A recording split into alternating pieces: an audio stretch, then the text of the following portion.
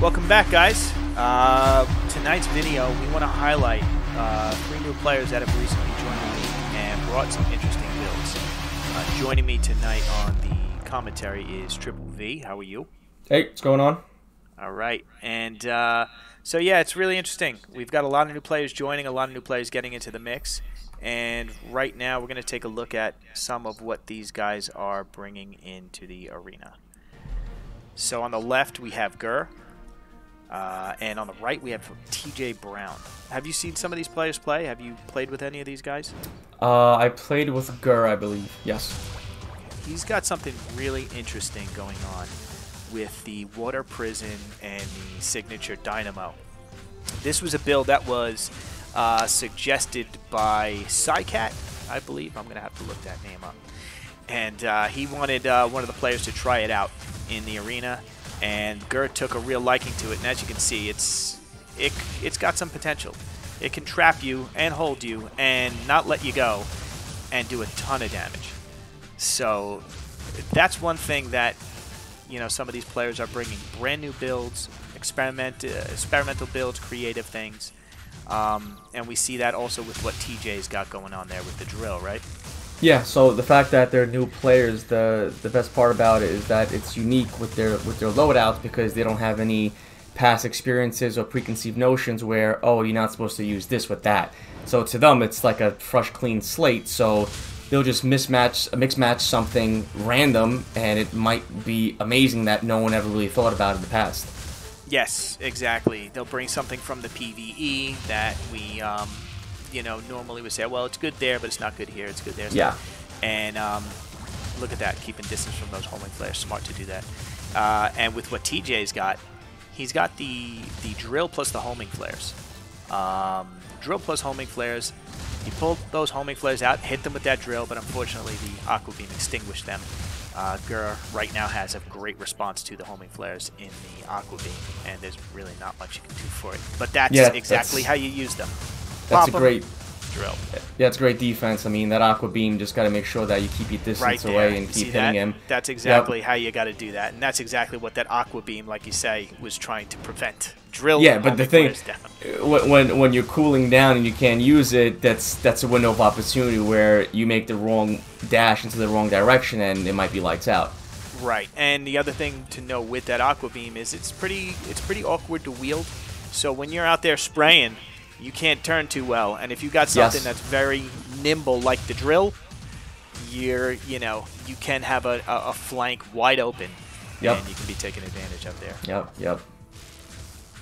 But so far, these guys are showing us what these builds can do. They- They're using them perfect. They're none of this is random. Homing flares, and he's going to be waiting for that opportunity for that drill right there, and that's it. He's got some seekers to help him out. Not gonna, you know, you're not gonna throw those away. Yeah, there they are. Yeah, these these uh these two players, it's they they just going for each other's throats. I mean, they smell weakness and they're taking advantage of the opportunity completely. Yes, they have two very, um, you know, uh, unique strategies. They know exactly what they want to accomplish, and it's just a matter of who's going to get it off first. Right here, TJ with the flares drill, flares drill, and then here we got Gur. He's going to start to make some space. He wants to make a little bit of space. Water prison. He ended up tossing that out into nowhere. Uh, but that one, that one was on target. If uh, TJ was in line, perfect hit, perfect hit with the surge. I don't, the dynamo. I don't know why that didn't catch that. Um, but yeah, he knows exactly what he wants to do here. Wow, And very that one was real close. yeah, 43 health points. Yep. See that? That these these matches were super up close. Bang, bang, bang. Very up close. Look at that. Perfect execution and a follow up with some bolts. Once you catch someone in the corner or stuck on on the statue, it really Yeah. is potentially just game over if you can't get out of it. But Garrett did a great job of of turning the turning Yeah, the situation in his favor. I mean, right now it's pretty much it's uh, even in terms of HP. Yeah. Look at that. Yeah, Perfect very- execution. yeah, yeah. wow. What a way to get out of that. I gotta say, I'm, I'm a fan of I'm a fan of this build. So, and that's one thing having these spectators come out, watch these matches. You know, we have a lot of players and we have a lot of people who are you know just as creative, who are in you know in the stands. you know, in Yeah. the voice chat, in the text chat, just throwing out great ideas for us.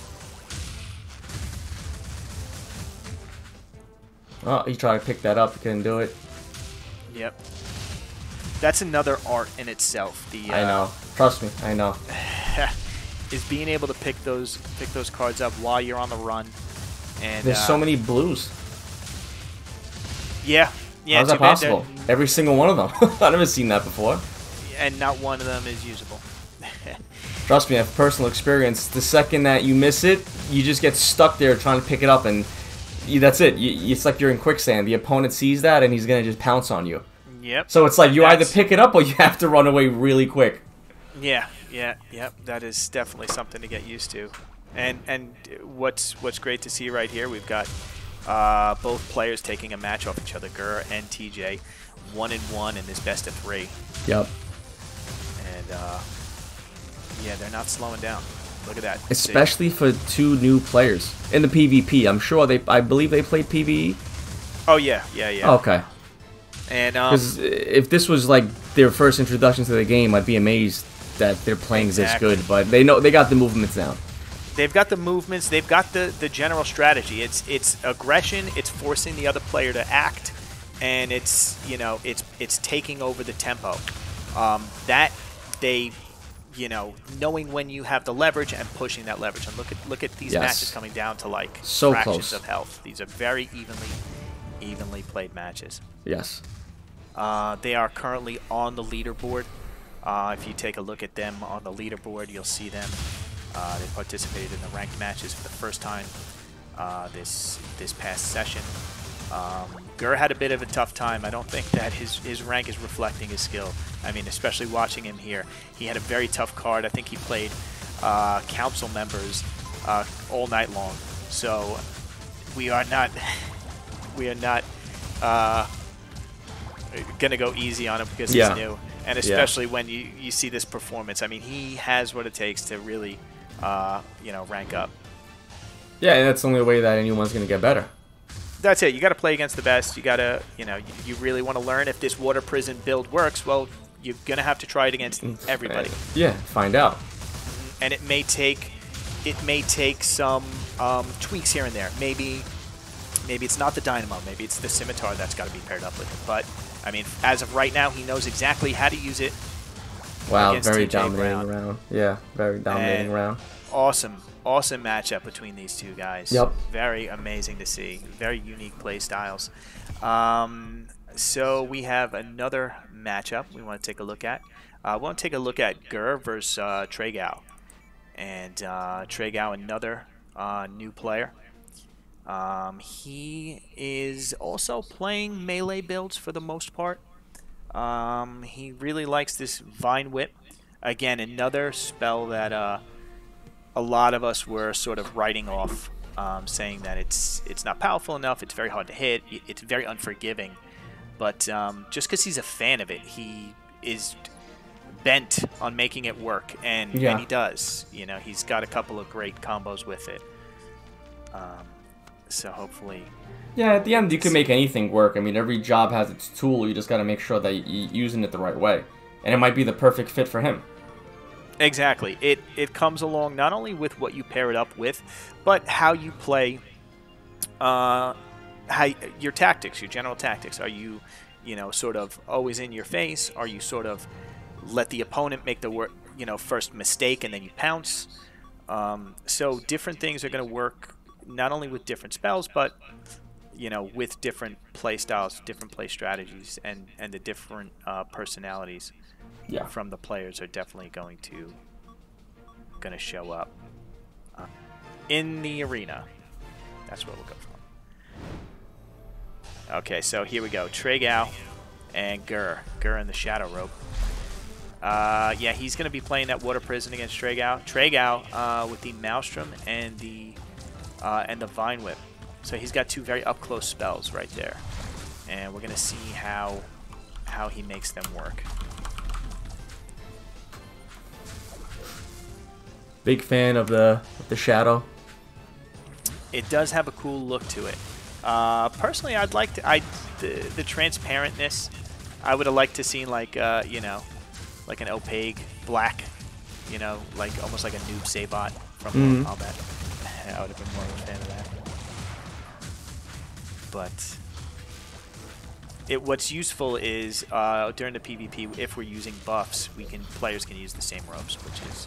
But for the most part, we use, wow. See, Yeah, yeah. there it goes. He he's a fan of this. I'm a fan of this now. Not sure about the stone shot. I did like the volt disc better. Um, for me, He uses it very well though.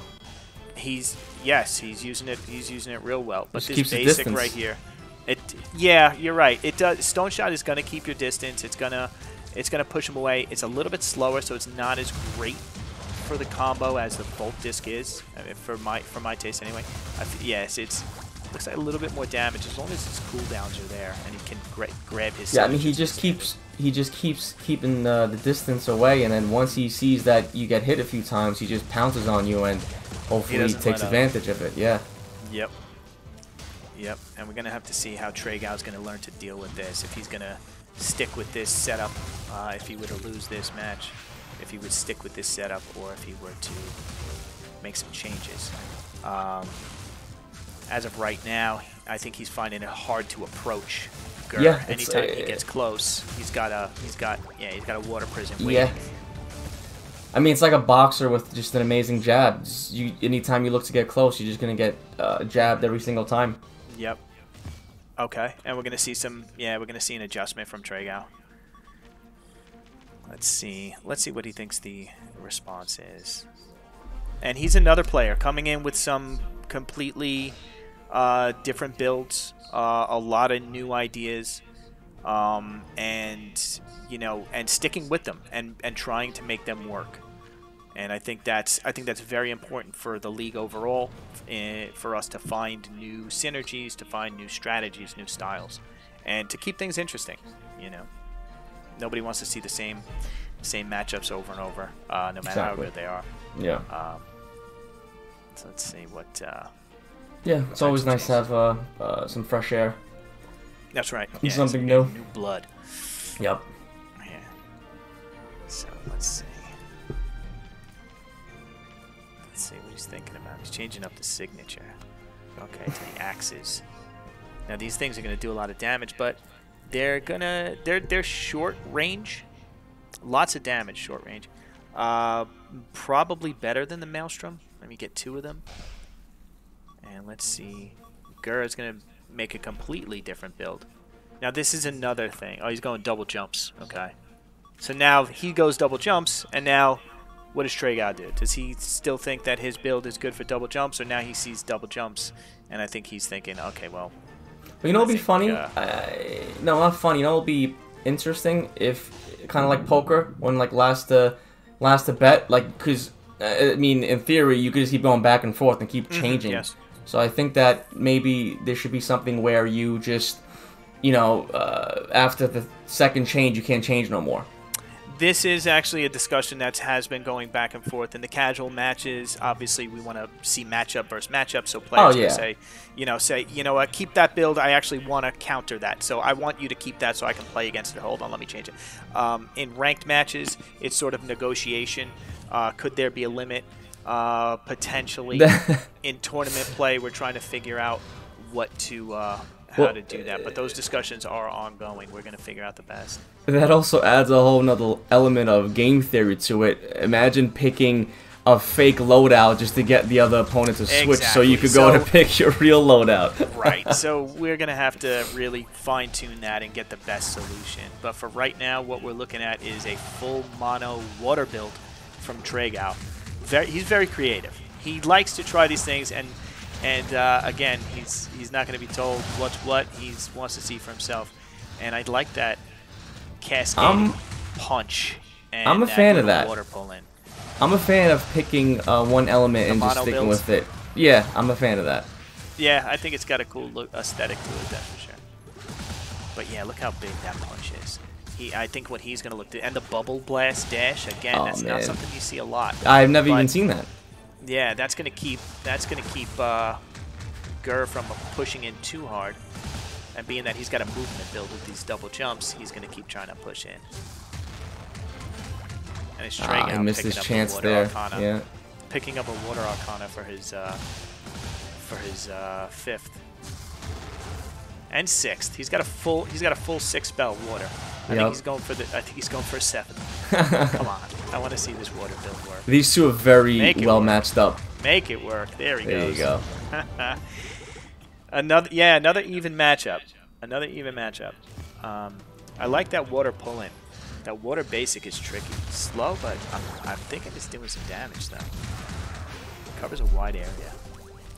Yeah, I mean they both have uh, good distance uh, loadouts where it keeps each other in check. It's hard to really get close, and then whoever is able to get close then just has to take advantage of it. Yeah, it's going to be Gur always on the approach, I think, and for Tragao to make his work, he's always going to have to be on the distance or the defense and sort of right there. You see that? Pull Yep. back, let him pop in, and then sort of zip back in and trying to find what that perfect distance is so he can take advantage of it, like right there. Uh, full water punch into the, um, you know, into his standard pull in and, uh, and punish. Trying to figure it out. And he's got those bubbles for that little bit of cushion. Popping those bubbles. He can't get too close because he's going to get stutter stepped. He's baiting it out. But he's pulling it in. He's baiting it out. And then hit and run with that water punch. Yeah, Yeah, an extra pickup is such a huge advantage that it really is. I and, and, always and mess especially when look what he's doing. He's literally j- only going for a full water build. Yeah. And so to actually t- pull this off where he wins two matches in a row, going for a full mono build, I mean, you got to take your hat off to him. Yep. yep. That's funny. That's great. Yeah, no, that's great. That's great. So these guys are one and one again. A, another match between uh, the two new players going the full the full three rounds. Let's see. Let's see what they uh, they come back with this time.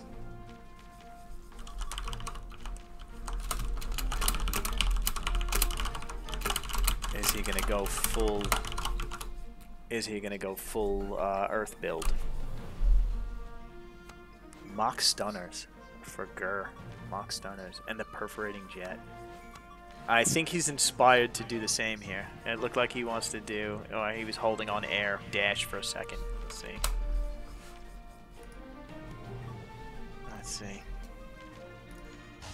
These perforating jets. Gur's been talking about these perforating jets. He likes these things.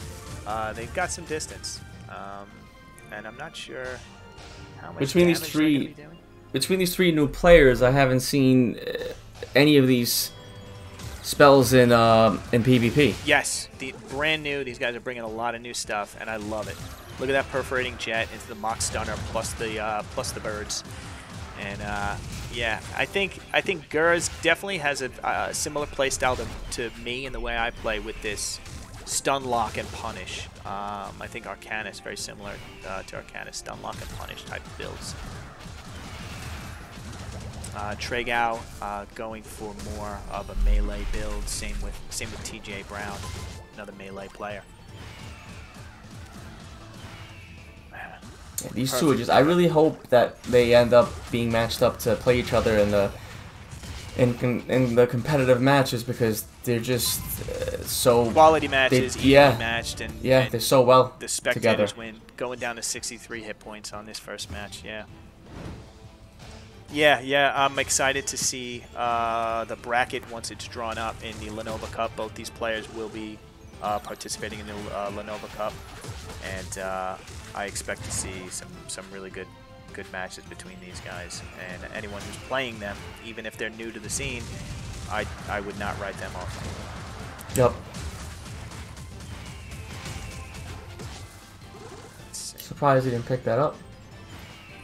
What's that down there? Uh, Mhm. Is he full up? No, he's got room. Yeah, he can put, pick one more up.